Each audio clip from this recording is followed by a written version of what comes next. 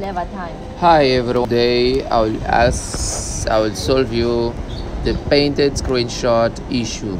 Every time you see this type of problem, don't forget to do this.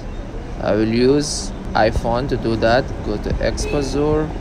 I will increase the exposure to 100. Go to brilliant also to 100. Highlight. We reduce highlight to minus 50 minus 50 then go to shadows shadows we have to go to 40 to 47 and contrast go to 75 brightness go to 70 if you can see the red you can see now but the blue you not you not see. So go to black point. Go to black point reduce the brown to contrast reduce the contrast also. Shadows shadows you have to reduce also. And increase the highlight.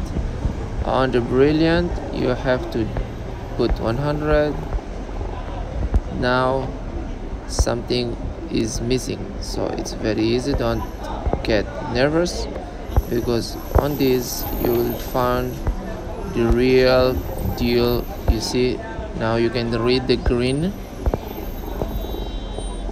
You can see the green you can read the green also. And the blue must be written within a minute. I have to just work with the one of these colors. Struggling here is the blue so you can see I will increase the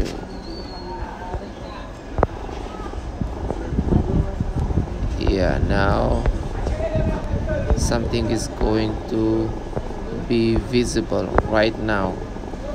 You see the blue is also written. You can see. Everything is good and you can read it.